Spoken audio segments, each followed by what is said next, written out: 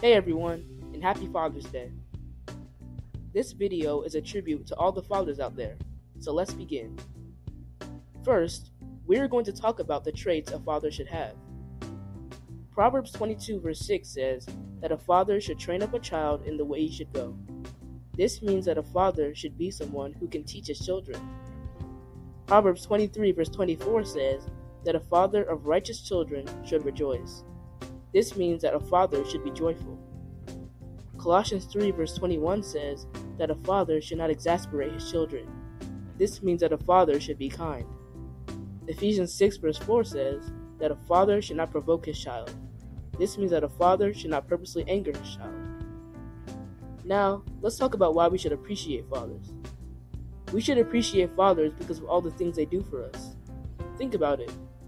When something is broken in the house, who are you calling to fix it? When a tire on the car is flat, who are you calling to change it? And when there's a big bug in the house, who are you calling to get rid of it? I'm sure that most of you thought of your father. I know I did. One more reason to appreciate your father is that they help you to bring you up in the way of the Lord.